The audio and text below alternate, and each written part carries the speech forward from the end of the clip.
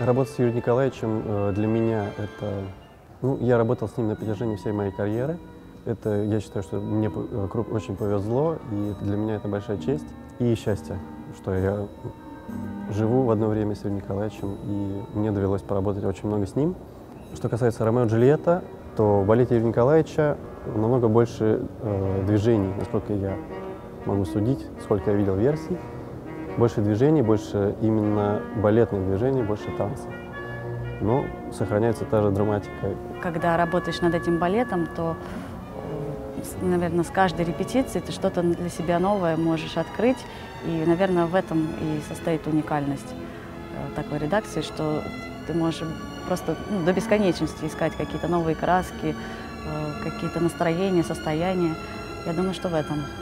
Ну, действительно, как бы, когда погружаешься в атмосферу э, музыки и хореографии, и если, э, как я уже говорил, входишь в роль, ну, после спектакля ты э, выжатый как, то есть ты теряешь столько эмоций и сил, потому что на сцене ты действительно переживаешь, и это огромное удовольствие, то, что ты имеешь возможность это пережить, это огромное счастье.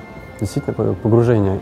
Ну, эмоции, наверное, как, как, как у Джульетты, которая да, теряет Ромео, и тоже до слез, и за весь спектакль ну, ты так проживаешь, в общем, эту роль, эту, действительно, это целая жизнь.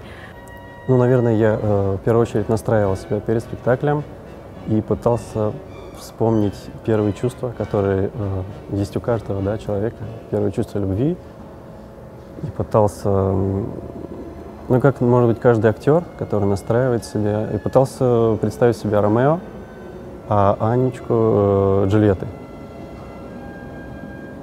И именно войти, войти, как бы, то есть действительно полюбить, полюбить Аню, э, чтобы на сцене это было максимально естественно. То есть я могу сказать, что на сцене я ее э, любил искренне. Это очень-очень тяжело, потому что ты выкладываешься, да, и все эмоции, они остаются на сцене. И обычно вот после этого спектакля у меня ощущение, что вот меня как будто нет, то есть полная пустота во мне. Все, все я отдаю зрителям, отдаю сцене. Вот. А если это до слез, то это, наверное, здорово.